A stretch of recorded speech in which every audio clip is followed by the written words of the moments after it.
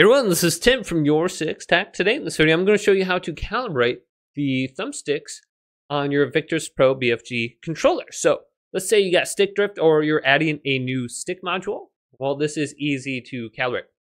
Hold down the function button in the middle and then choose your desired thumbstick and press that down.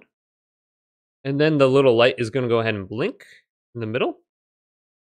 Once it's blinking, rotate the thumbstick around two or three times. Let it center in the middle and then press the function button. So do it on the right side and then do it on the left side. And that should reset the zeros to that chosen location where the thumbstick just comes to a dead rest.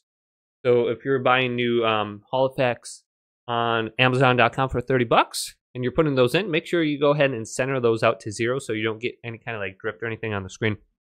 But hopefully this video did indeed help you out. If did, leave it a big thumbs up and subscribe my channel down below for more tech videos coming up next on Your Six Tech.